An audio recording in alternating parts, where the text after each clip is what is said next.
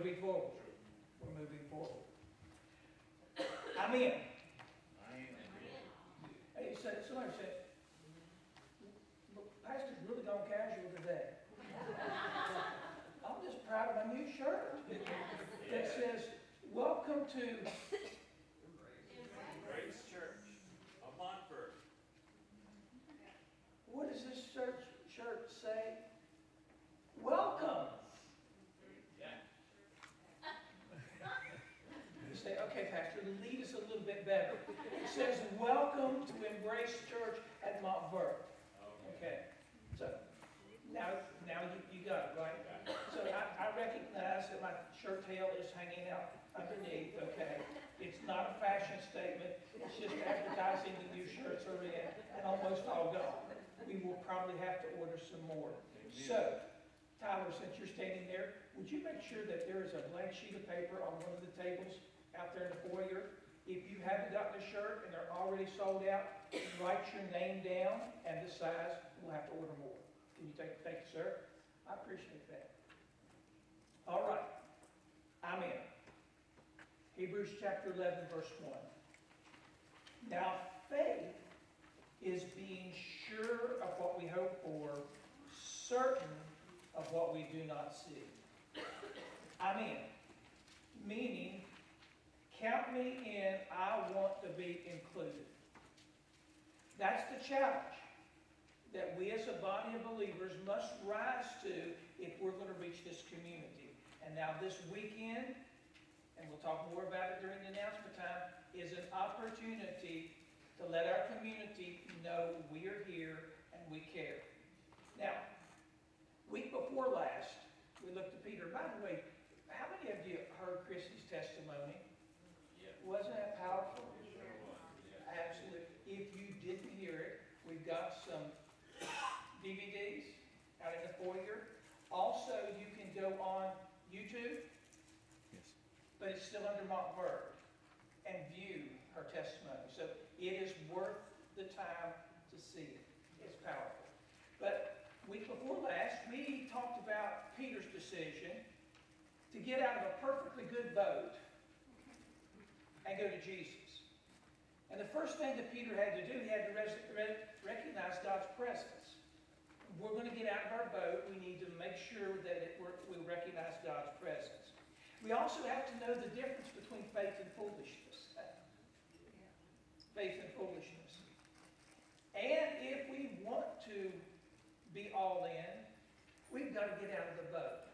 One thing that I've, I, I've pondered on this week Again, I may have mentioned it during the message, but Peter gets a lot of criticism for taking his eyes off from Jesus and sinking. But there were 11 other guys in the boat that got to the other side of the storm and the difficulty the same as they were. Peter's the only one who had walked on water and had experienced Jesus lifting him up. Okay? Peter's not a failure. He's a success. When we get out of the boat, when we're, when we're all in, we need to expect problems. There were problems. There was a storm. Fear is a price of growth. You know, we're taking great steps of faith. We've been in this process of little by little moving forward for over a year now.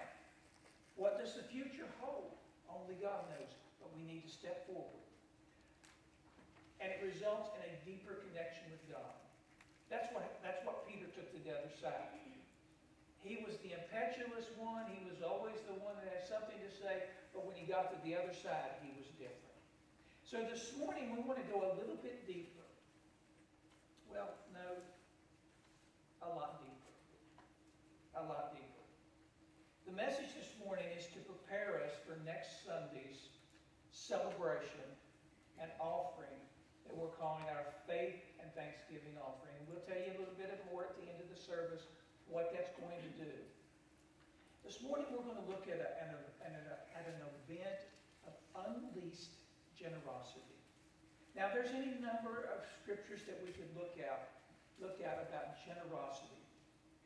But the one that we're going to be looking at this morning is one of the most powerful ones in all the Gospels. It's one that I just, I, I just, I just love the message that it gives to us.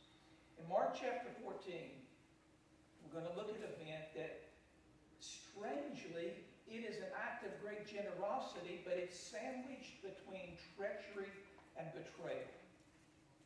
But the ugliness of sin is even highlighted. The, beauty of, of, of the giving overshadows the treachery. Let's just begin reading. Mark chapter 14, verses 1 through 11. Now, the Passover the Feast of Unleavened was only two days away.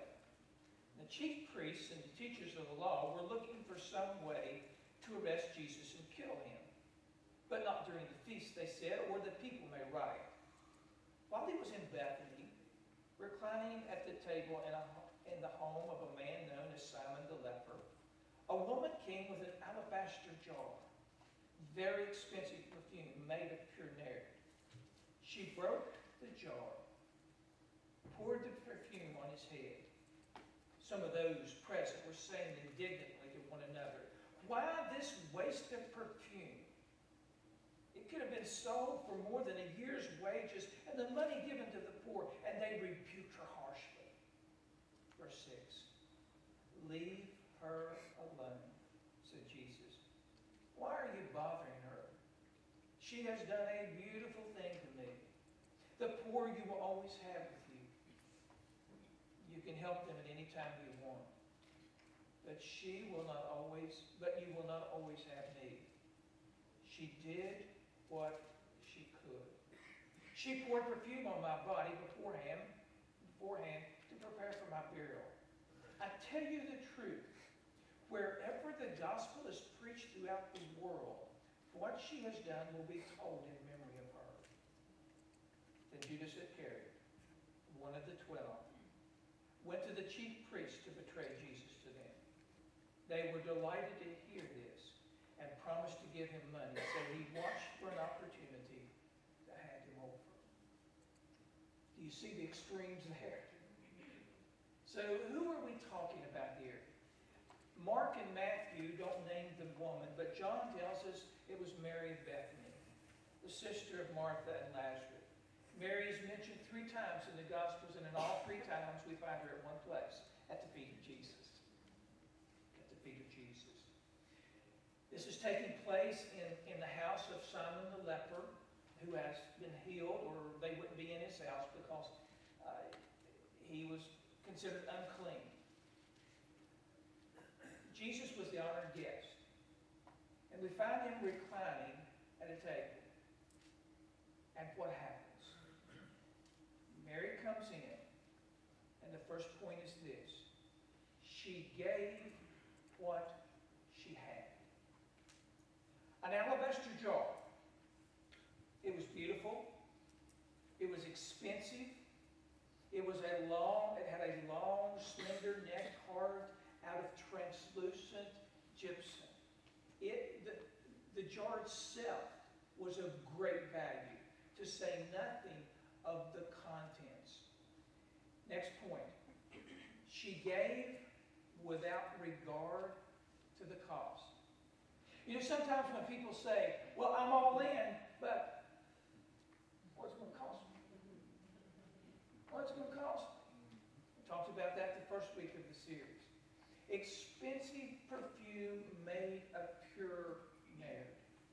And as the research that I've done is, it's a fragrant ointment imported from the mountains of India. It was pure, it was genuine, it was very costly. We find out how costly it is. It, would take a man working for a year to cover the cost of this jar of perfume.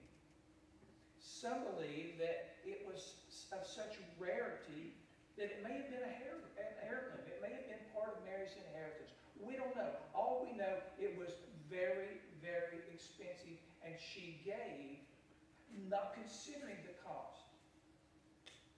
She gave not at a, not at a drop a drop time.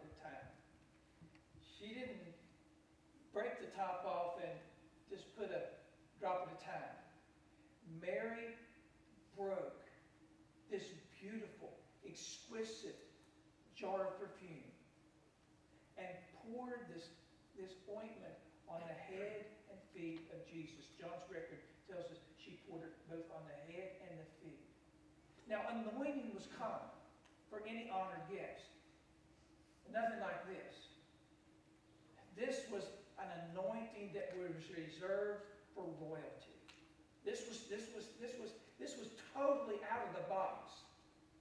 Now, why would Mary do that? She was absolutely captivated and captured by the love of Christ.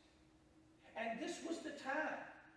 This was the time that she could do something that was absolutely extravagant without any thought of the cost. She just poured it out. The response? Well, she gave without regard to other people's opinion. Now, when she poured it out on Jesus, when she did this, this event, this anointing that was reserved for royalty, everyone in the room rejoiced with her. Is this a reality check? Say it to see if you're with me. Everyone thought, Mary, this is wonderful that you would do such a, a wonderful thing for Jesus. Let's go back to the text. Verse 4. Some of those present were saying indignantly to one another, Can you believe this? What a waste. What a waste. It could have been sold. It could have been sold and for more than a year's wage and the money given to the poor. And they rebuked her sharply. Have you ever done something out of a pure heart and got rebuked harshly? Usually that's from people like these disciples that are all concerned about themselves. And, and look, I'm, that's another message. I, I won't go there.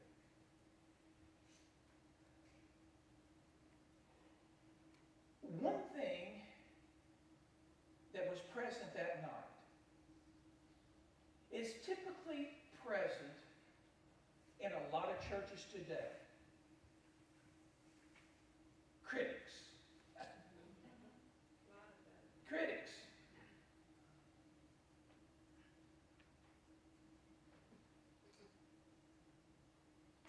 I can't believe that.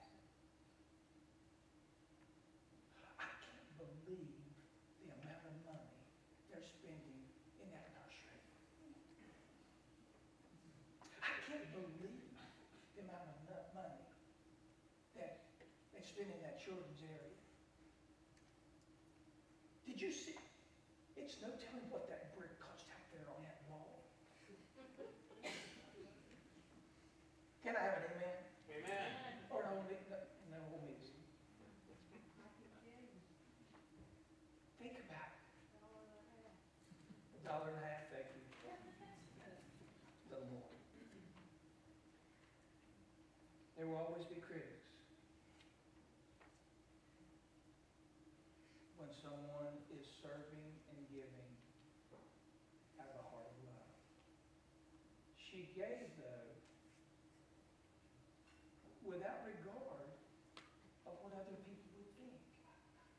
And can you imagine her feelings as, as those disciples, those followers of Christ, rebuked her for her act of love and sacrifice? Really? You see, John tells us that it was Judas that, that rebuked, but Mark was is telling us it's probably referring to all the disciples. Th- This is the first of many times in this chapter that Jesus' disciples will fail Jesus. But let's look at the response again, verses 6 through 9. We've already read it, but let's look again. Leave her alone. Why are you bothering her? She has done a beautiful thing to me. The poor you always have with you, and you can help them anytime you want. But you will not always have me. She did what she could. Now, some of you saying, well, that sounds familiar back around the first of the year.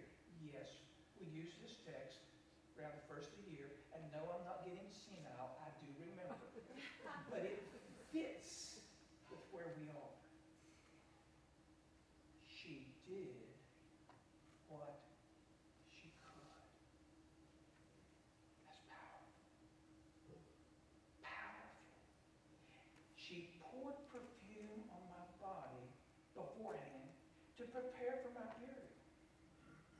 And because she did what she could, I tell you the truth, wherever the gospel is preached throughout the world, what she has done will also be told in, rem- in memory of me. Mary was a woman of passion. Her passion was to love Jesus Christ with all of her heart. And her purpose, her purpose in giving this extravagant gift without considering the cost was to honor him. To honor him. She gave with no thought of return.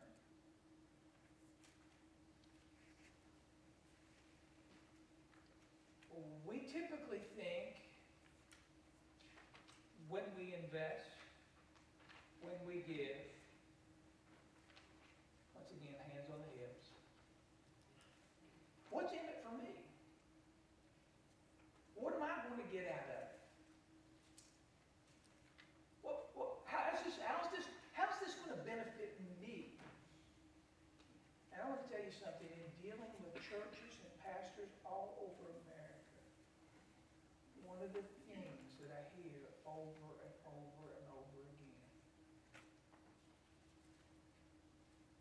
this change, this program of trying to reach the community. Many times a pastor will, will be called in to bring change to the church, to lead them forward, and he starts making changes. And, and we, and we hear it over and over and over. It may be six months, it may be a year, it may be two years, and he's called in by, it may be the official leaders of the church or the self-appointed leaders of the church and said, uh-uh, this is my church. And don't be messing with my church. All this change that you're bring, trying to bring in, what's in it for me and my family? You said, Pastor, really? Yes. Yes. Hear that over and over and over again. What's in it for me? But Mary, she didn't give with any thought of return. She did what she could. She took initiative. She did an act of devotion when no one else would. She gave her resources in a way that only she could give them. Some people only talk about what they could do or wish what they could, what could be done. But Mary did what she felt led to do. As we're thinking about being all in, as we're thinking about moving forward, here's the question that we need to continue to ask.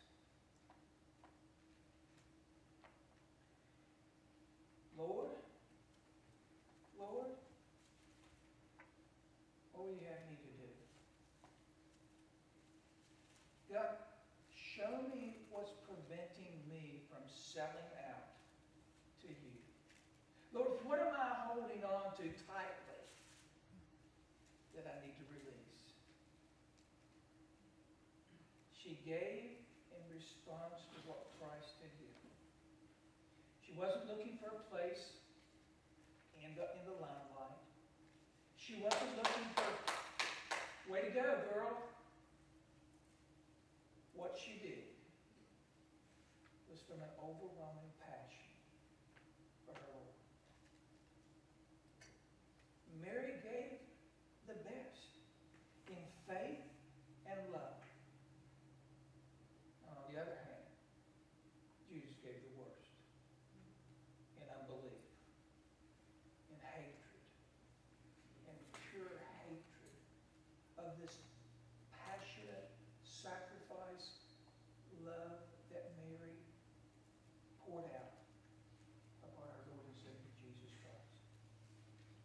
Judas, went, one of the twelve, went to the chief priests to betray Jesus, Judas, Jesus to them. What a contrast. How brutal. So we're talking about being all in. Taking steps of faith. Being all in with our service, with our talents and abilities. Being all in with the resources that God has blessed us with. So when it comes to stewardship, and Mary was quite a steward, she did what she could. This is what Scripture says, 2 Corinthians chapter 12, verse 14. Now I'm ready to visit you a third time. I will not be a burden to you because what I want is not your possessions, but what? You. You.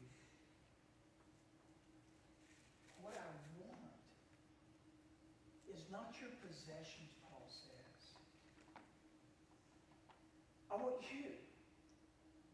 I want you to have a heart of extravagant generosity.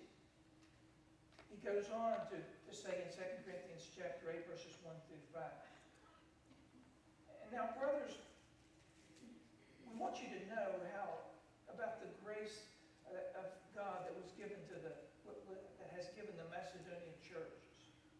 Out of the most severe trial, their overwhelming joy and their extreme poverty welled up in rich generosity. For I testify that they gave as much as they were able and even beyond their ability, entirely on their own.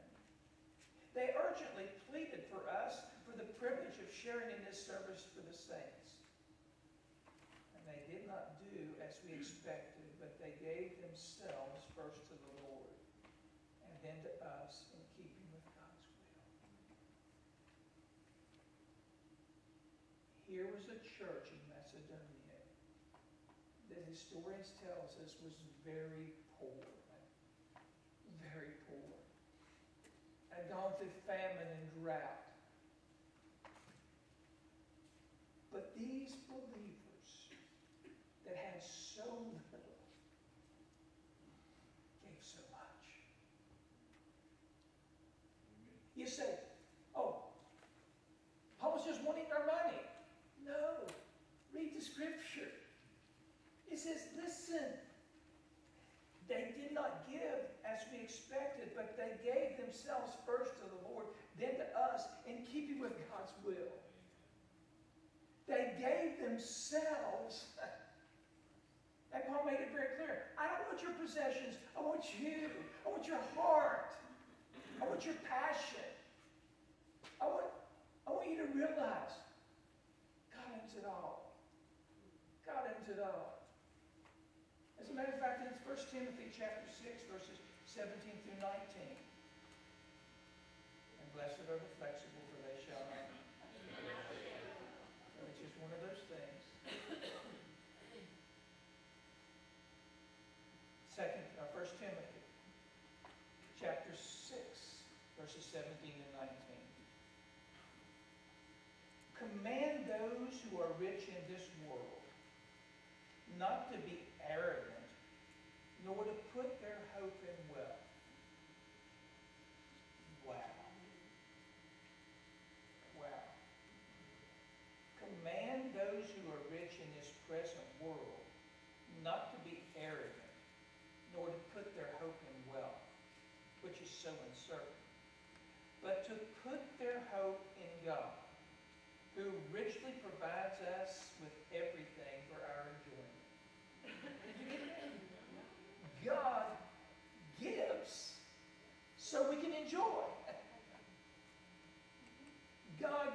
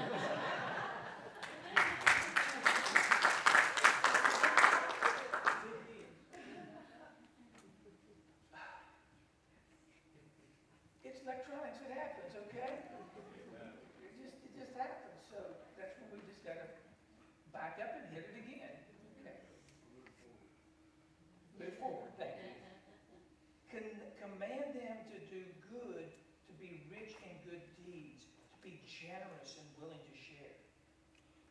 In this way, they will lay up treasures for themselves as a firm foundation for the coming age, so that they may take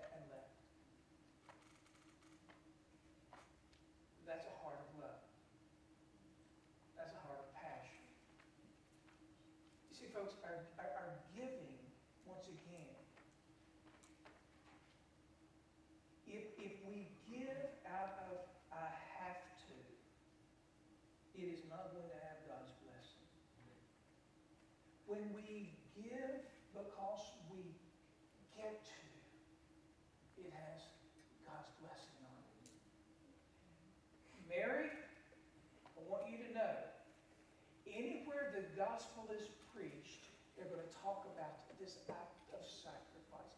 Is that why she did it? Absolutely not. But because she gave, because she got it out of a heart of passion, God said, Jesus says, this is going to be a blessing. People are going to hear about this. People are going to be amazed at your extravagant love. People are going to be challenged with that phrase, she did what she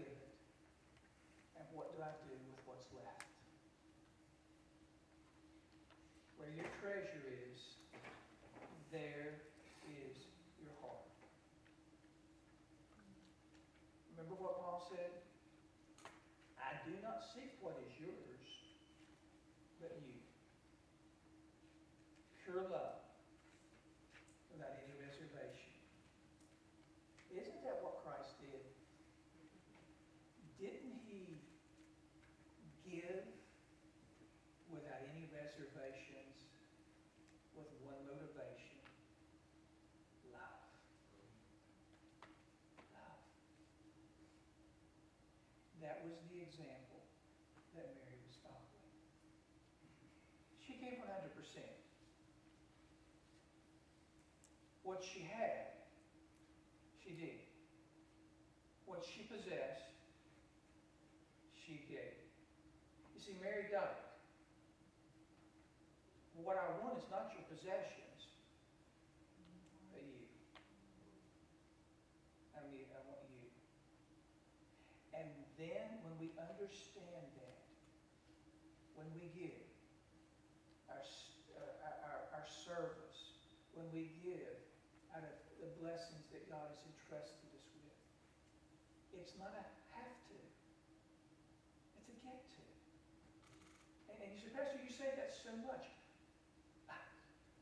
foundational. It's so foundational for us experience in the love of Christ. It's such a radical difference because I know there have been times in 42 years of ministry that I have served because I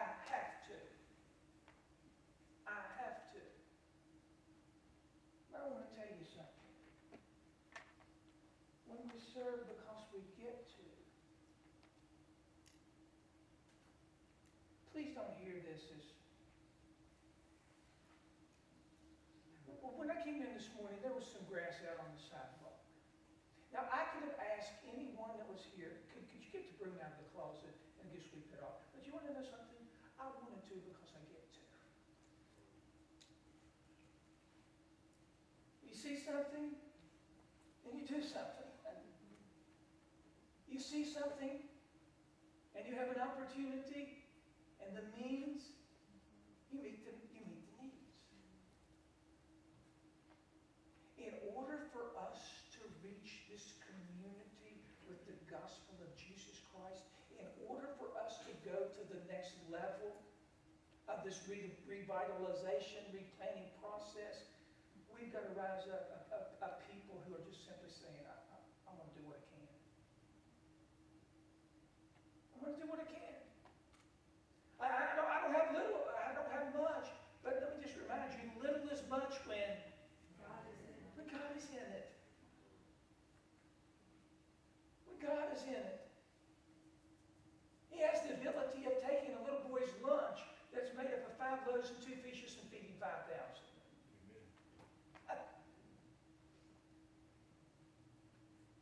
Has he changed? The same yesterday, today, and forever. Forever. I believe that God is giving this body of believers an opportunity to take a great step of faith. Not, not, not dipping our toe in the water, but getting out of the boat where the majority want to stay in their comfort and get to the other side unchanged. But God's giving us challenge and the opportunity to take a step of faith. And is there fear? Is there apprehension? There always is. But if we don't take that step, we will never, we will never be changed when we get to the other side. And I don't know about you, but I don't want to live life in mediocrity. I don't want to live life just getting, getting by and getting through to the other side, going through one storm and get to the other side changed. I, I, want, I want to squeeze everything out of it possible to get to the other side changed and different.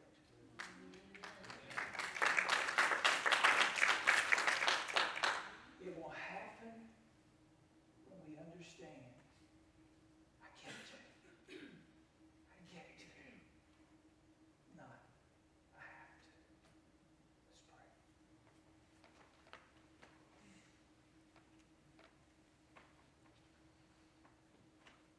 I'm in. I'm all in. And what God wants to do through Embrace Church. Are are you willing to say, I'm in and I will serve with joy? I'm in and I will serve, not because I have to, but I get to. I will give out of a heart of love and passion and out of, out of the resources that, that God has entrusted me with, and I will do it with a, with a heart of generosity. Unleashed generosity. Father,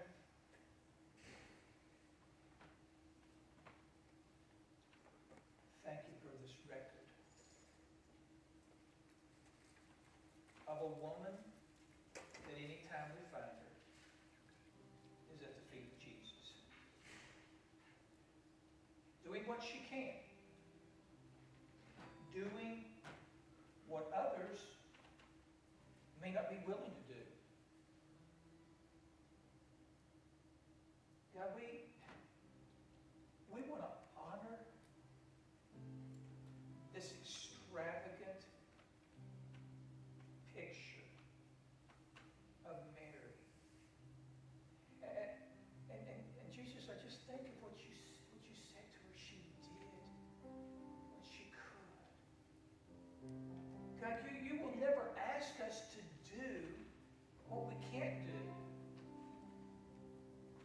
times, God, we attempt to do things that we can't do and it results in bondage, and we just stop doing it.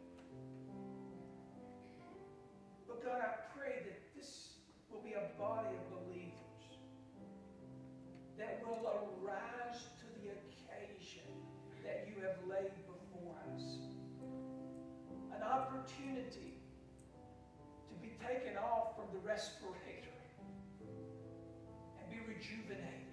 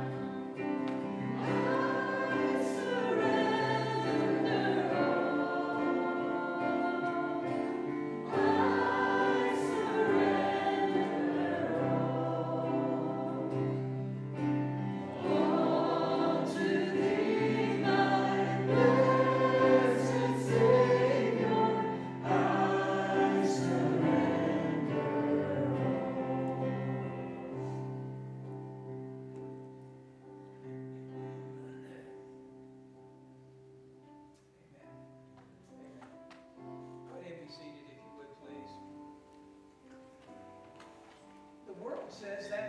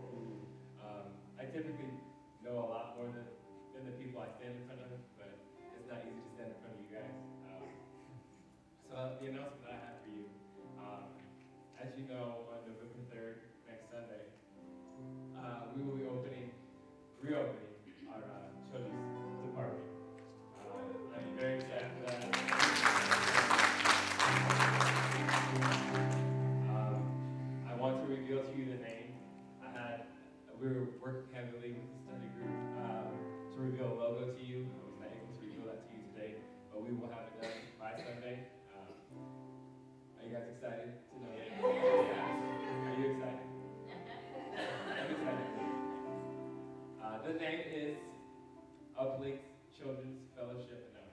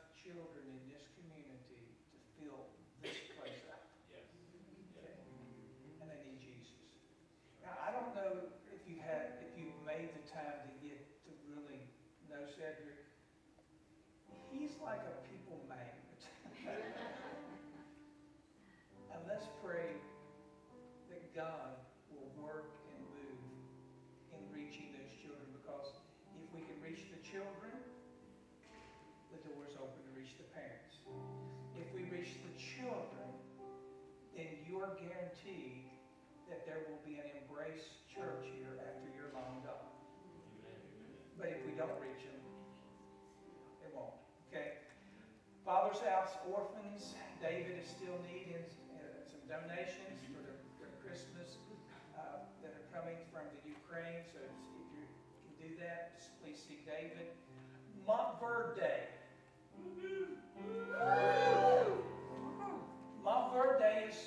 Saturday, Friday and Saturday, we'll be setting up Friday. Donna needs some help setting up. But here's the announcements. We need lots of small bottles of water, small ones, okay? Give someone a bottle of water and invite them to church. If possible, have them church, have them here to church by the thirtieth so they can start cooling them. Still need four or five coolers. Uh, four now because I brought mine, so Lots of cookies, lots of cookies. Two in a bag, no nuts or peanut butter because we don't want anyone we don't have any, we don't have any EpiPens, okay? So no, no, no peanut butter, okay? Uh, please sign up on the sheet at the Welcome Center for time slots. Shirts, men have pretty well sold out, right, Gene? Okay, but we'll order more. If you didn't get your shirt, sign up out there, your name and shirt size, okay? Trunk or treat, Thursday. Yes. How many of you are bringing your car? Okay, good.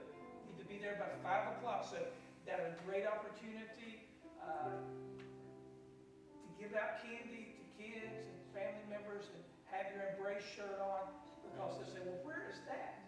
And you'll be able to tell them. Next Sunday is the, is our faith and Thanksgiving offering. You're now, Pastor, what is that for? Okay.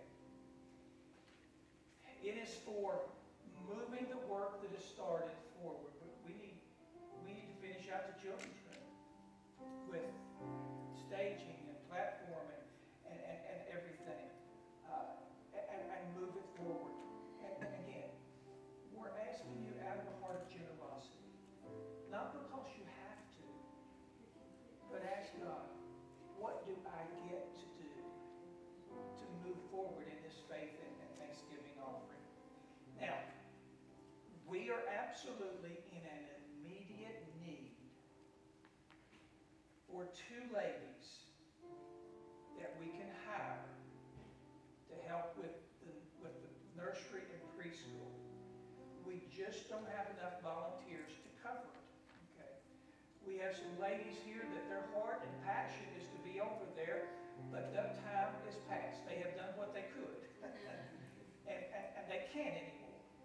So there is that immediate need. So we're looking at it. We- The, the money will be there for two individuals, one in the preschool, one in, in the nursery, with a volunteer, okay?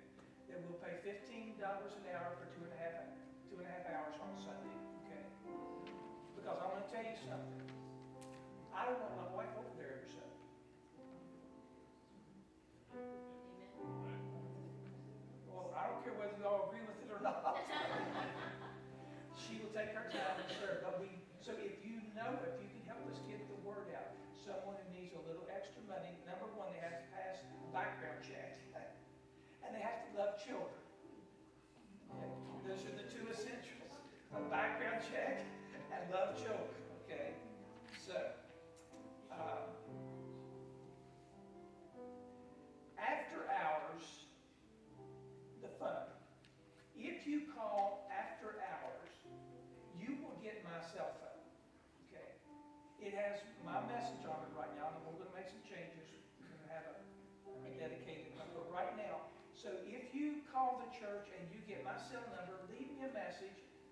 And, we'll follow up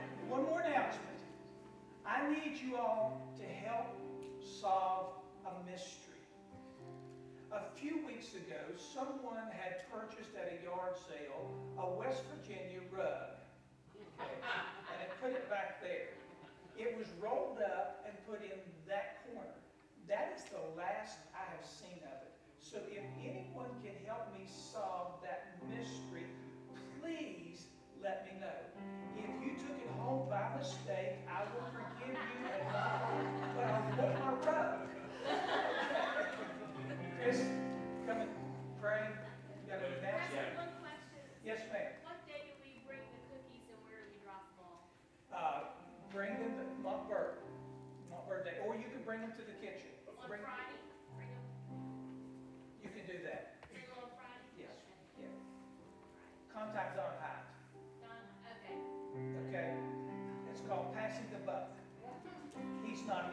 I can give him any job Any questions about that, call Don Hyde. His number's in the directory, if you need it, call Gene and we'll give it to you. Bother him at any time, any hour. He will be more than willing to take your call. Oh, I'm so glad he said that. All right, um, Cedric asked for prayer to fill these walls with children. Now, coincidence? I think not. Because there's no coincidence with the Lord. The prayer team here at Embrace Church is inviting this church, beginning on Wednesday, November 6th, the first Wednesday night of the month, and moving forward, it'll always be on the first Wednesday night. We are going to, um, again, do the passionate night of prayer. Again, that's the first Wednesday night. We're inviting the church come, and, uh, it starts at six thirty. You can enjoy the, the meal, and then we're just gonna, we're gonna pray through this building. We're gonna pray God's power on these buildings. That God is gonna work through what's been done and more importantly, through his people to reach this community. So please come. You're welcome to stay as long as, as you want for prayer, uh, in the sense that but if you can't stay that long, if you can only do, uh, you know, 15 or 20 minutes, that's fine. We will take that. Uh, but please come. First Wednesday, and of course, we're going to start with um, November 6th, all right? And that's an exciting, I'm excited. I'm excited to see folks praying for this church. So let's go ahead and stand.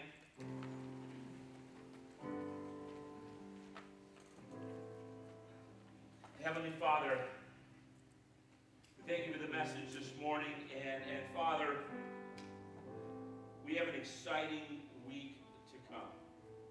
We're looking ahead, Father, to, uh, as we pray this morning in the morning prayer time, Father, we are looking forward to this incredible opportunity that you've given us to reach out and embrace the community of Montverde. Father, we're handing out candy, we're handing out water, we're handing out cookies, but more importantly, we are handing out the love of Jesus Christ. Father, make our faces to shine for this community. Make our people to shine. Uh, make us a light in a dark place in this coming week. We pray in Jesus' precious name.